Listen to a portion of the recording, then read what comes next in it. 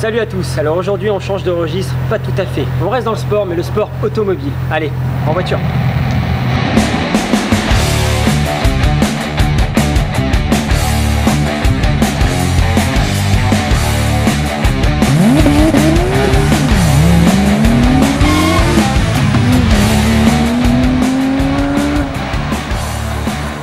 Voilà entre mes mains la plus puissante des Porsche, la 911 GT3 RS. Rapide et légère, 1400 kg seulement et une tenue de route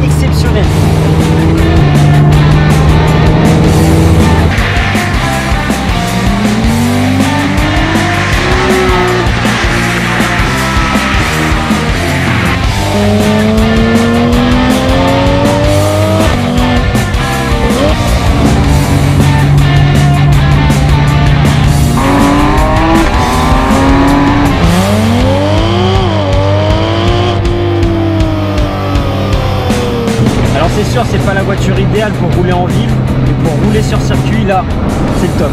Elle est faite pour ça de toute façon.